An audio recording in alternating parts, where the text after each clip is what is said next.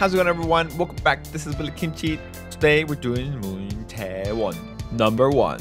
Moon Chae-won was born in Daegu in South Korea. She studied Western painting at the Chugye University of Arts, but dropped out in 06 to pursue acting. Number 2. Moon made her acting debut in 2007 in Mackerel Run, alongside fellow newcomer Lee Min-ho. They were among 60 actors who auditioned for the sitcom. Number 3. But it was in the 2008 peer drama Painter of the Wind that Moon began her rise to stardom. Such was the positive reception of their on-screen chemistry and the homoerotic subtext of the characters' relationship, Moon Chae-won and Moon Geun-young, that they received the most votes for Best Couple poll at 2008 SBS Drama Award. It was the first time in Korean drama history that two actresses won the Best Couple award, despite the sexual conservatism of Korean network television. Number 4. Moon's profile was further raised with Brilliant Legacy, in which she played a privileged girl who alternatively antagonizes and pities her stepsister. Brilliant Legacy became one of the top-rated Korean dramas of 2009, with a peak viewership of 47.1%. Number 5. In 2011, Moon was offered the sole female role in War of the Arrows, an action blockbuster set during the second Manchu invasion of South Korea. Moon underwent serious archery and horse riding lessons. Upon its release, War of the Arrows became the highest-grossing Korean film of 2011, with 7.48 million admissions. Number 6. She later won Best New Actress at the Grand Bell Award and the Blue Dragon Film Awards for her performance. Number 7. She then acted in Princess' Man. Though initially criticized for her acting, Moon won viewers over as the series went on, eventually winning Top Excellence Award at the year-end KBS Drama Award. Number 8.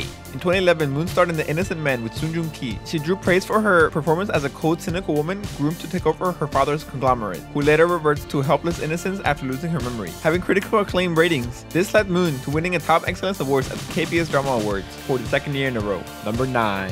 She then starred in Awaiting, a short film directed by Kang Je-kyu. Awaiting was one of the four short films comprising Beautiful 2014, an omnibus project that premiered at the 30th Hong Kong International Film Festival. Number 10. Moon returned to the big screen in 2015 romantic comedy Love Forecast, in which she reunited with Lee Seung-gi. This has been Willit Kimchi here, everyone. Thank you for watching. As always, let me know if you like the content by subscribing, liking, or sharing, or leaving a comment. As always, thank you for watching. Until tomorrow, bye bye, everyone. Bye bye.